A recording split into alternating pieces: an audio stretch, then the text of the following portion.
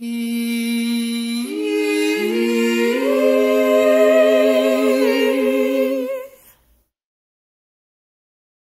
Ciao, sono Federica della Eco Voice Academy. Sapete che quando ascoltate musica non state semplicemente ascoltando musica?